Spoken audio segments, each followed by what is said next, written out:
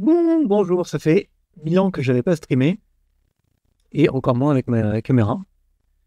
Alors, le premier truc, comme je disais, j'ai mis à jour mon modèle de fiche. C'est fou, je crois que tu utilisais le GitHub. Donc, euh, je l'ai mis à jour aussi.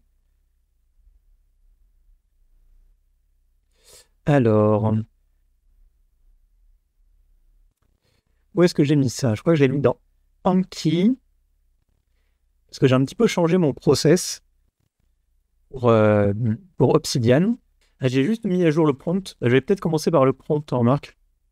Parce que avant, j'avais plusieurs modèles de cartes en fonction du contenu de la carte. C'est-à-dire que euh, si c'était une carte sur, euh, sur une personne, il y avait un modèle différent. Si c'était une carte sur un événement, sur quelque chose de général, sur un concept philosophique. Bref, pour chaque carte, il y avait un modèle euh, différent. Mais petit à petit, je me suis aperçu que c'était assez compliqué. Ouais, décembre 2023, ça date un peu.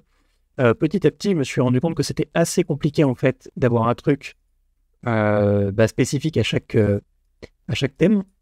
Et donc, j'ai changé tout ça et maintenant, j'ai plus qu'un seul modèle de carte. Donc, pour mon modèle vraiment de base, j'ai repris le template Jules César, parce que comme ça, ça permet d'avoir pas mal de trucs différents qui sont ensuite pris en compte dans le template.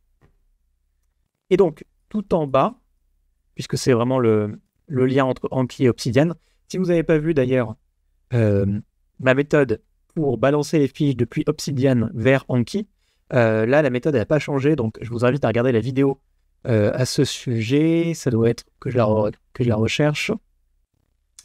Ça doit être celle-ci, comment faire des fiches de A à Z avec Obsidian, Anki et ChatGPT. Donc c'est dans celle-ci. Et euh, là, ça, indique les bases. Et puis là, ce que je vais dire aujourd'hui, c'est vraiment la mise à jour. OK Donc voilà, ça, euh, ce premier modèle, c'est pour ChatGPT. Enfin, c'est pour ChatGPT ou peu importe l'AI que vous utilisez. Moi, j'ai changé, je n'utilise plus ChatGPT, maintenant j'utilise Google AI Studio. Euh, c'est gratuit et c'est assez pratique parce que ça permet d'utiliser les derniers modèles en bêta de Google. Parce que si vous utilisez le modèle de base de Google, c'est Gemini. Et si vous ne payez pas, vous avez le modèle vraiment euh, classique, comme euh, c'est le même principe que ChatGPT. Si vous ne payez pas, vous avez le modèle classique. Et si vous payez, vous avez le modèle avancé. mais le modèle qu'ils mettent en fait hors de leur version bêta, il est vraiment pas bon. Alors que sur Google AI Studio, euh, donc ça vous permet euh, d'accéder à des versions qui ne sont pas encore sorties, qui sont encore en test, mais qui sont ultra puissantes, qui sont beaucoup plus puissantes en tout cas que leur modèle euh, qui est disponible pour le grand public. Et donc le seul problème, c'est que j'ai l'impression qu'on peut y accéder seulement avec un VPN, avec un VPN, parce que j'ai testé avec un collègue au lycée et on ne pouvait pas y accéder. Donc, euh, je ne sais pas si c'est parce que j'ai un compte qui est spécial sur Google ou si c'est tout simplement parce que j'utilise un VPN. J'utilise, enfin, le VPN que j'utilise, pourtant, je l'utilise en France, donc ça me paraît un peu bizarre, mais ça peut être la raison. Bref. Euh, mais en tout cas, c'est vachement pratique. Donc, si vous souhaitez accéder, je vous mets l'adresse. C'est aistudio.google.com. Et dedans, il faut faire quelques petits paramètres pour accéder à la version la plus puissante. Donc pour créer une nouvelle, un nouveau prompt, vous, cliquez sur euh, créer un nouveau prompt, c'est logique. Et ensuite, là sur la droite, vous avez accès à différentes options. Et donc, pour accéder au modèle le plus puissant, vous allez en bas et vous allez dans Preview. Et de mémoire, je crois que c'est celui-ci, c'est euh, Gemini 1.5 Pro Expérimental 0827 aujourd'hui, donc c'est le, on est le 27 octobre. Déjà, ok, déjà le 27 octobre. Euh, et c'est donc celui-ci aujourd'hui qui est le plus puissant. Et alors, pour, j'ai quelques paramètres pour qu'il soit encore plus puissant. Vous allez dans euh, paramètres avancés et vous mettez tous les paramètres, tous les filtres au minimum. Oui, il y a quand même encore quelques filtres, mais ça permet de ne pas avoir des erreurs qui retournent tout le temps si vous abordez des sujets qui sont un peu sensibles, je sais pas, par exemple le conflit israélo-palestinien, généralement, si vous, si vous posez des questions euh, par rapport à ça, ça va vous euh, retourner les messages d'erreur parce que c'est un sujet sensible, blablabla. Et si vous mettez tous ces paramètres au minimum, déjà, ça vous permet normalement d'avoir un petit peu moins de ce genre d'erreur. Donc voilà. Donc moi j'utilise ça en ce moment. Si vous utilisez ChatGPT ou Claude euh, dans les dernières versions, c'est aussi euh, c'est le même principe. Euh, les dernières versions de Claude, c'est Opus, je crois, et elle marche très bien. Et la dernière version de ChatGPT, c'est la 4O, et c'est pareil, ça marche, ça marche bien. Donc normalement, le template, il marche avec toutes ces versions. Et donc, pour tester en live, donc là j'ai quelques petites fiches que j'ai pas encore faites et que bah, qu'on peut tester comme ça en stream pour voir ce que ça donne. Donc, j'ai une stream sur l'Oclo euh, donc un modèle euh, de pouvoir politique. Et donc, j'ai mon modèle sur Obsidian. Donc là, j'ai fait pas mal de fiches sur The Witcher parce que j'ai lu tous les, tous les romans récemment. Euh, et donc, on retourne sur Oclocratie. Toc, j'ai ma fiche qui est complètement vide. Je suis en mode, par contre, comment ça s'appelle? Euh, Source mode. Source mode, c'est plus pratique parce que ça permet vraiment d'avoir la carte les plus brute. Et ensuite, une fois que la carte est terminée, on peut repasser en mode euh, lecture. Mais comme ça, ça permet vraiment d'avoir le copier-coller le plus simple possible. Donc, j'ai mon modèle dans euh, Google AI. Aussi, le truc assez pratique avec Google AI, c'est que ça enregistre directement. Enfin, vous pouvez enregistrer en fait vos prompts. Euh, je crois qu'on peut le faire aussi dans le chat GPT. Mais ça évite de faire des copier-coller à chaque fois. Ok? J'ai la voix qui est complètement cassée. Euh, mais c'est pas trop, trop problématique. Donc, Obsidian général. Ça, c'est le modèle de fiche que j'utilise tout le temps. Ah oui, le truc assez pratique aussi avec AI Studio, c'est qu'il y a un nombre de tokens qui est absolument énorme, qui est de 2 millions. Euh, donc ça permet d'enregistrer en fait des conversations qui sont super longues et euh, l'AI prend en compte en fait les modifications que vous souhaitez apporter. Donc ça permet vraiment d'avoir à la toute fin euh, une, utilisation qui est vraiment pile poil pour ce que vous voulez. Donc ça c'est voilà les fiches que j'ai pu faire avant. Et donc on va mettre la fiche que l'on souhaite et donc, Oclocratie, on clique sur Run, on attend que ça, se génère. C'est assez rapide, je dirais que c'est un peu entre les deux, entre euh, ChatGPT O, 4O euh, et euh, Claude Opus. Claude Opus, il est assez long, mais il est vraiment très très précis. Et ChatGPT 4O, il est plus rapide, mais il est un petit peu moins précis, je trouve. Mais celui-ci est vraiment bien. le modèle de Google est vraiment bien. Parce que voilà, vous pouvez vraiment euh, changer beaucoup plus de paramètres que euh, les deux autres. Et donc là, j'ai mon modèle de fiche qui est euh, généré. Je clique en haut à droite sur les trois petits points, copy markdown, parce que c'est la version la plus brute. Je fais un copier-coller dans Obsidian et je retourne en mode lecture. J'ai un raccourci, c'est F3. Et donc là, j'ai mon modèle qui est généré. Vous voyez, j'ai comme avant ma fiche Wikipédia, euh, le résumé, la chronologie des événements, une petite anecdote, une citation. Et là, je lui ai dit en fait de faire cinq euh, questions. Et ça me permet d'éviter en d'avoir des modèles de questions dans Anki qui sont, qui sont vraiment spécifiques euh, à chaque thème. Là, vous voyez, à chaque fois, en fait, les cinq questions, généralement, c'est assez précis par rapport aux thèmes qui sont proposés. Donc là, pour l'oclocratie, vous voyez, on en a une. Qu'est-ce que l'oclocratie? Bon, c'est vraiment la question de base. Euh, quelle est l'origine du terme oclocratie? Euh, Différence entre oclocratie et démocratie. Exemple historique d'oclocratie. Alors, celle-ci, justement, typiquement, c'est là où ça va être assez intéressant euh, Google AI. Je vais pouvoir modifier ce qu'il m'a dit et ça va, ça va le prendre en compte pour les, prochains, pour les prochaines utilisations. Bon, vous allez me dire ça, ChatGPT le fait aussi. Mais vu que là, le nombre de tokens est absolument énorme, euh, ça permet à la fin, normalement, d'avoir vraiment des choses qui sont vraiment exactement ce que vous souhaitez. Donc là, je vais modifier sa réponse. Euh, vu que j'ai pas vraiment d'idée de carte, je vais lui demander dans une nouvelle requête de proposer quelque chose. Je vais lui dire en place. Oui, voilà, c'est fou. C'est la nouveauté, les cinq questions pour consolider le savoir. Ça permet d'éviter en fait d'avoir une seule carte dans laquelle il y a tout d'inscrit. Là, c'est cinq questions différentes et, euh, c'est un petit peu plus simple en fait. Donc, remplace la question. Euh, mince. Remplace la question.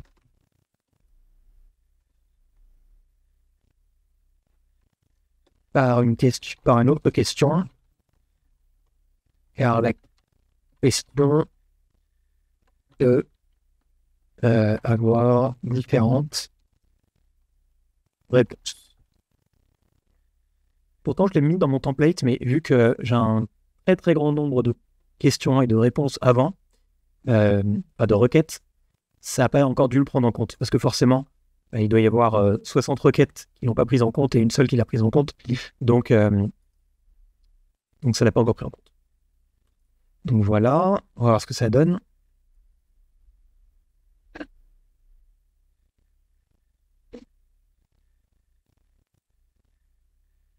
Ouais, donc celle-ci, elle est mieux. Vous voyez, il me propose un truc, caractéristique de euh, l'oclocratie dans la pensée politique grecque. Euh, comment les... Bon, bon c'est pas mal. C'est pas...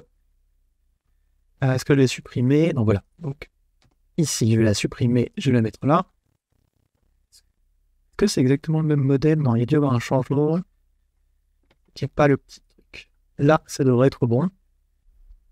Et donc, même principe, je vais le modifier dans la réponse qu'il m'avait donnée. Et ce que je fais, j'ai l'impression que ça marche comme ça. Euh, j'ai l'impression qu'il ne prend en compte en fait que les réponses qui restent dans euh, le chat. Parce que ce que je fais plutôt que de laisser en fait les. Quand je fais des requêtes pour modifier un truc, je supprime en fait ma requête euh, lui indiquant de modifier telle chose. Et ensuite, je modifie directement dans la réponse précédente qu'il m'avait donnée en ajoutant, et j'ai l'impression que ça marche assez bien, et comprend en enfin, qu'il le comprend comme s'il avait donné la bonne réponse, mais déjà modifiée. Je sais pas si c'est très clair. Vous voyez, là, j'ai modifié la réponse qu'il m'avait donnée en prenant en compte euh, ce qu'il m'a dit par la suite, et en théorie, euh, dans les prochaines réponses, lui va prendre en compte ce qu'il m'a dit. Bref, on va voir si ça marche à peu près. Parce que là, ça fait quelques réponses en fait qu'il me donne euh, j'ai fait quelques requêtes et parfois il me donne dans les questions des exemples. Il me dit par exemple, donne-moi des exemples euh, bah, voilà, de démocratie, de régime, etc. Mais j'aime pas tellement les, questions en fait euh, où il me demande des exemples parce que en soi je pourrais donner un autre exemple qui est correct et euh, c'est pas l'exemple qui était en fait souhaité dans la réponse. Donc je préfère vraiment une question où il y a une réponse attendue qui est vraiment précise. Il y a une seule réponse qui est attendue parce que comme ça, ça me, vraiment, permet vraiment de savoir euh, dans ma question-réponse dans Anki si j'ai eu bon ou si j'ai eu faux. Donc voilà, c'est un, un, détail, mais je pense que c'est mieux comme ça.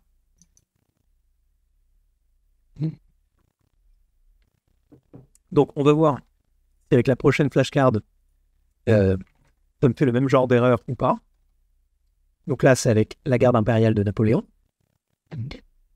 Pareil, j'ai mis une fiche euh, en rapport avec Napoléon parce que je viens de terminer. Je les avais téléchargés depuis longtemps, en fait, euh, les audiobooks de Max Gallo sur Napoléon. J'avais j'avais les quatre tomes dans Audible, mais j'en avais lu que deux. j'en avais écouté que deux. Et donc, je me suis mis à, à terminer. il me reste deux heures dans le dernier, qui sont franchement pas mal. D'ailleurs, j'aime bien les romans historiques.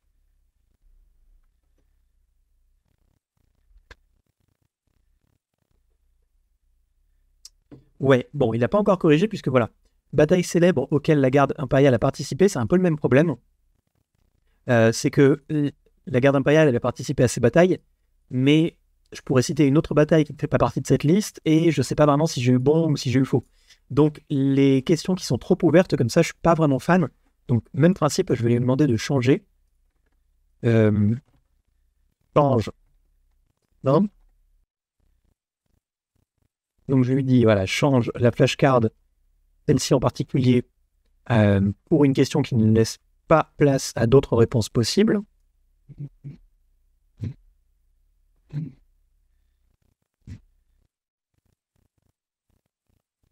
Ok, celle-ci elle est bien.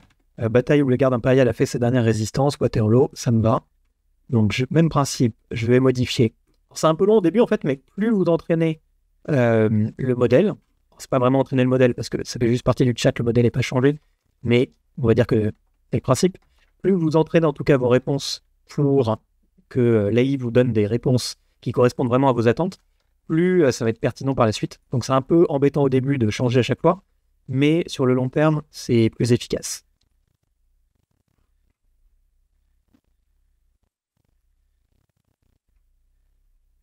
Pareil, il y a un petit truc que je change à chaque fois, mais ça, vraiment, il n'a pas l'air de comprendre.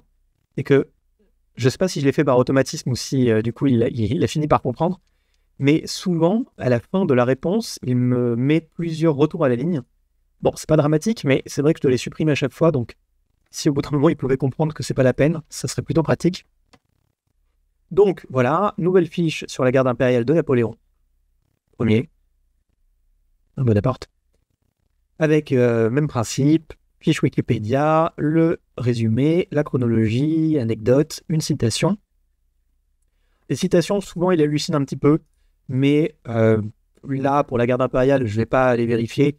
Si c'était pour un auteur ou quelque chose comme ça, j'irai vérifier si la citation est exacte. Mais là, c'est vu que le modèle est général, à chaque fois, je demande une citation, mais c'est pas le truc que, j'attends le plus. Ok. Euh, donc voilà, on a nos questions. Avant-dernière, on va voir. Vous voyez, là, pour le nombre de tokens, dans le chat, il y en a 2 millions possibles. Euh, j'ai déjà un paquet de réponses avec des requêtes. On n'est que, est que à 22 000. Je ne sais pas exactement si un token, ça correspond à un caractère. J'ai l'impression que ça correspond à peu près, mais euh, je n'ai pas été vérifié exactement ce à quoi, ce à quoi ça correspondait. Donc là, qu'est-ce qu'on a comme question? Date, euh, belligérant, lieu de la bataille, issue de la bataille, importance de la bataille. Importance, c'est pas. Bon. Pas capital, mais bon, ça permet de faire une petite fiche. J'ai mis 5 fiches. Vous voyez là, typiquement, il y a des retours à la ligne et à la fin, donc je les supprime. Et pourtant, à chaque fois dans, mon, dans ma réponse, dans la réponse qu'il me donne, je les supprime aussi, mais euh, il n'y a pas l'air de comprendre. Donc voilà, on a notre modèle qui est Bien. Et dernière fiche, le multilatéralisme. Et vous voyez, ce qui est pratique, c'est que là, on a fait donc euh, deux fiches historiques. J'ai déjà oublié le thème de la première. Euh, c'était quoi? Ah oui, euh, l'oclocratie. Donc c'était plus une fiche de philosophie politique, on va dire. Et et vu que le modèle, c'est un modèle général, j'ai pas besoin de changer de modèle à chaque fois, ce qui est assez pratique. Organisation multilatérale. Ok. Ou bien, ah ouais, ça c'est pas mal, il m'en propose deux. Euh, quel est le rôle? Alors, quelle est l'organisation multilatérale principale chargée du maintien de la paix et de la sécurité internationale? Les Nations Unies, quel est le rôle principal de l'organisation mondiale du commerce? Ah, C'est pas terrible par contre. Il me faudrait une question plus précisément sur les multi multi la réalisme. Le petit minule et ça à la fin. Je sais, sais pas exactement si, si c'est mieux comme pratique de laisser en fait les demandes de précision et les demandes de changement, ou si vraiment en fait il prend en compte euh, toutes les éditions, et du coup c'est mieux parce que c'est plus propre en quelque sorte de laisser que vraiment les questions requêtes, enfin les requêtes et les réponses.